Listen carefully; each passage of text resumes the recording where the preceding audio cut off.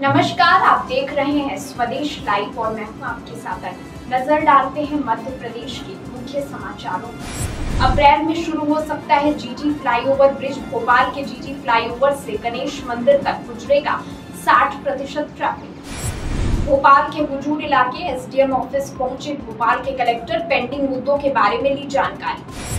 ग्वालियर और दतिया में ठंड बरपा रहा है। अपना कहर पारा पहुँचा 25 डिग्री के बाद। पाँच दिन तक वेस्टर्न डिस्टरबेंस रहेगी एक्टिव छाए रहेंगे बादल, बारिश नहीं बीजेपी महिला मोर्चा के कार्यक्रम में शिरकत करेंगे पीएम मोदी। उत्तर भारत का महिला अधिवेशन भोपाल में होगा आयोजित।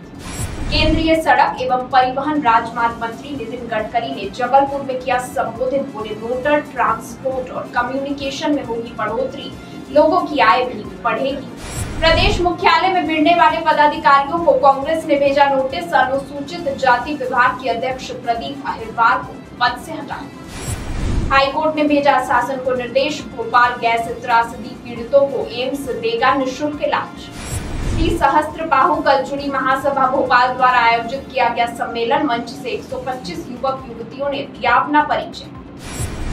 पीसीसी चीफ जीतू पटवारी ने महात्मा गांधी की पुण्यतिथि पर उन्हें किया नमन।